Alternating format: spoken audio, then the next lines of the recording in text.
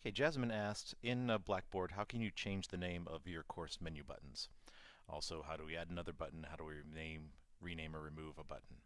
And so uh, that's what this video is about. So I'm going to go to another tab. So first, make sure that in FCPS 24-7, make sure that edit mode is on. And then you come over here to your course menu. And let's say I wanted to rename one of these. So mouse over the menu button or link you want to rename and then click on this little chevron, this little down arrow. And if one of the options is rename, so if I want to change its name from course and instructor info to just course info, rename it, and then click save. So the name of that button has now been changed. If I wanted to delete it, same little mouse over, little chevron, and delete. I won't actually do that because that would get rid of all the content that's in that area right now.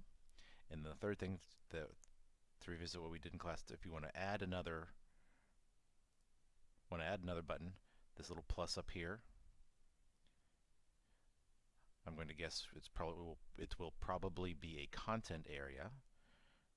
Remember we went, we went through the difference between content area, module page, blank page, tool link, all that stuff in class last time. So let's add a content area button. So new content area and make sure I check this box to make it available to users. If that's not checked, it'll be on your course menu but hidden for students.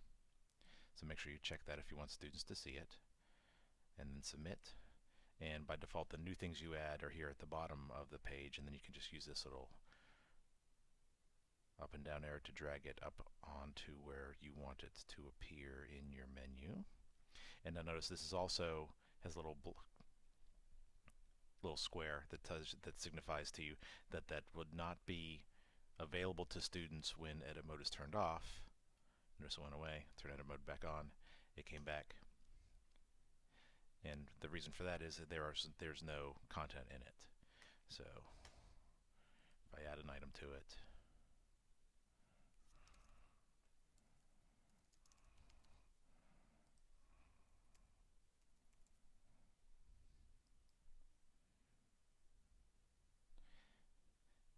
notice that little box had went away.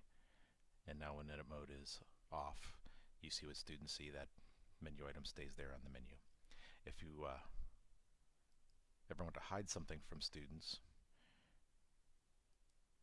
or you can hide the link, and then that menu item will have that little box with a little slash through it. Uh, you also get that if you forgot to check the box make available for students, so I can, again, that little chevron, and then show link, and that'll come back. And then again, if I wanted to delete that menu item, delete. Warning, this will permanently delete all of the content within this area. You sure you want to do that? And yes. And then it's gone. Alright, hope this helps.